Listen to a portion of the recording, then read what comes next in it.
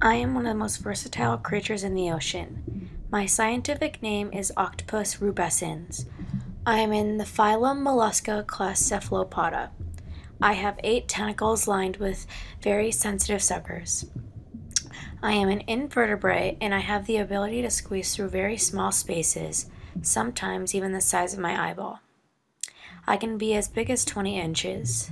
I also have a very strong beak called a radula that can inject very poisonous venom into my prey. My prey usually includes snails, crabs, and hermit crabs. I have very good eyesight, similar, similar to a vertebrae, with lenses, retinas, and pupils. Even though I have great eyesight, I use my sense of touch and smell to find my food. I do most of my food scavenging at night. I can swim at deep depths of up to 600 feet. I also have a very short lifespan of about only two years. I have the ability to camouflage into my surroundings and even change to the texture of a rock or a piece of coral. I can change colors in fractions of seconds to red, brown, yellow, white, and other mottled colors. I have three hearts. One of my hearts pumps blood through my body, and the other two plump, pump blood through my gills. I am also very intelligent, almost as intelligent as a house cat. I'm also a very solitary creature. I burrow into rocks and small caves and even under sand.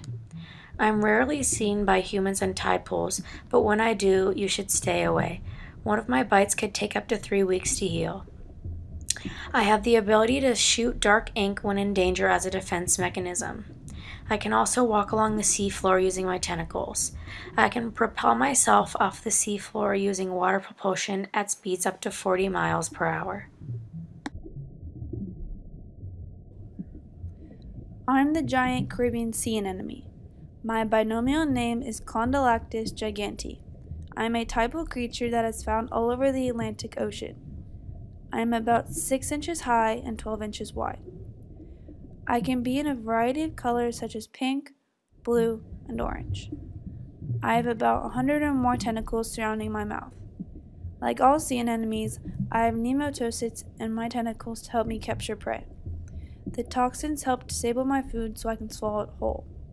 My diet consists of fish, mussels, shrimp, and other invertebrates. Sometimes us sea anemones have symbiotic relationships with other sea life so that we can adapt to each other. Examples of this is the cleaner shrimp and different types of corals.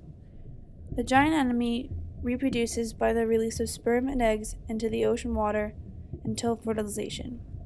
The chances of fertilization is based on the proximity of male and female anemones. As a Caribbean giant anemone, there is an abundance of us all over the ocean, though we are still impacted by harvesting. A fun fact about sea anemones is that we are named after the anemone flower, which is why we are known as the flower of the sea.